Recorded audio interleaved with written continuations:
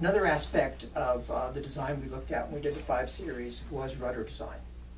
We'd studied a lot of rudders and how rudders fail, and you learn a lot by looking at failed rudders, and uh, we certainly supply a lot of replacement rudders to boats in the field, up to boats that are 40, 45 years old. We've supplied rudders.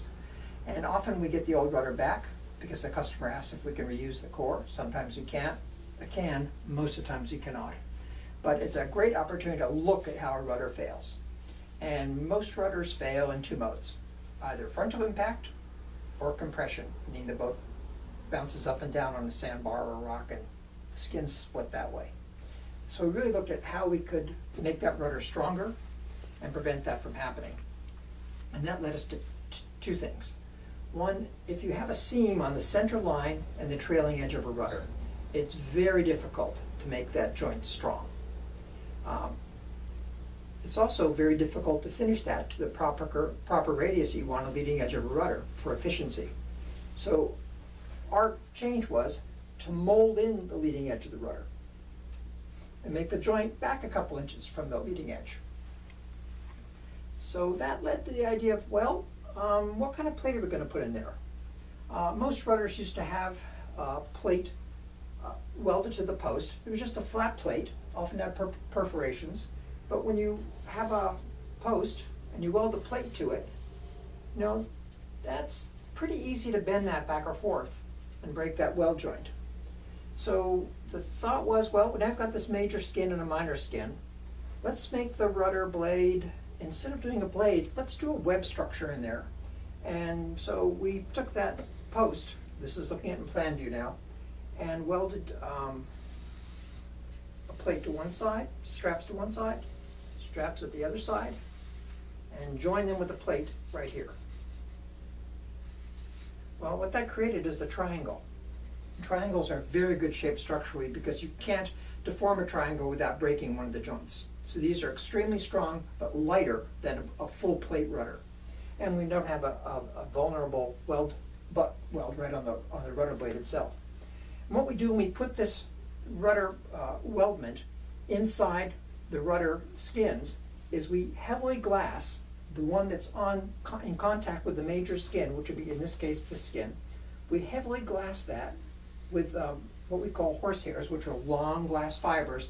We weave through that um, part of the weldment until we achieve a good attachment to the um, to the blade on the opposite side. There'll may, maybe be a big bundle of these strands that get attached to the major skin. Well, the beauty of this is we've now attached the rudder core to the rudder blade skin. Every other rudder in the world, and we used to make them, is a bit like, uh, think of a uh, stick in a popsicle. Um, you just put the stick in, the popsicle freezes, and the only thing holding that stick in place is, is attachment to the, to, the, to the ice on the inside. Well, that's okay for popsicles, but not so good for rudders. Because uh, the way everyone built rudders is you'd have symmetrical skins, put the core in there, pour foam in, slam it closed, and that was the attachment. The foam held the core in place. We wanted to get away from that, so that's why we heavily glassed these. The reason for that is, especially in freezing climates, if you ground the boat, just tap the bottom, and you don't have this attached to the skin, you break this little bond right at the top, right? Well, all rudders are underwater, up to there. And once you make a little fissure right here, water enters that.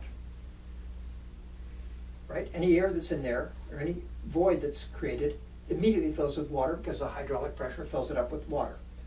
Then you haul that boat, it goes through a couple of freeze thaw cycles, each time expanding that crack, each time attacking this little weldment, right, this weldment right here, which you know those kind of welds don't like to be encapsulated, especially if they're trapped in water and eventually the rudder will fail. And you have no exterior warning it's going to fail unless you see a little bit of rust weeping out of the bottom of the blade, as you'll see in some older rudders.